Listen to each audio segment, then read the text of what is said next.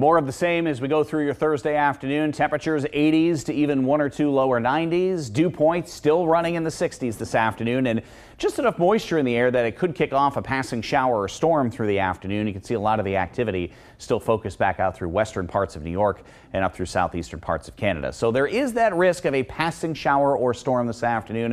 A lot of areas, though, will wind up dry in between that with just a general increase in clouds. Tonight, partly cloudy skies. Temperatures will ease back into the 60s. 60s. And we are expecting a good deal of sunshine around for your Friday. Temperatures in the 80s. Small chance of a shower. A lot of that will be confined to the North Country on your Friday afternoon. We get into the weekend. Looks like a bright start. A lot of sunshine around. And we get later into Saturday evening. Clouds will start increasing and there could be a couple of showers around either very late Saturday night or into Sunday. 80s for most this afternoon, a couple of upper 70s in the north country. We'll look for a cooling sea breeze at the shoreline, but interior sections anywhere between 88 and 91 this afternoon. Again, that small chance of a passing shower or storm this afternoon. Still well into the 80s as the humidity starts to lower tomorrow and cooler yet over the weekend.